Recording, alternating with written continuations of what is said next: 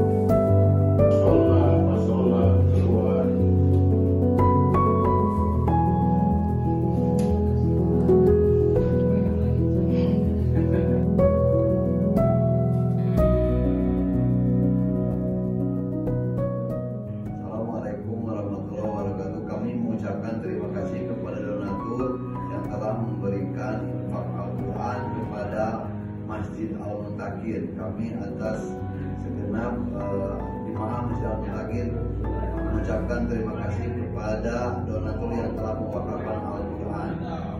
Terima kasih sekali lagi. Assalamualaikum warahmatullahi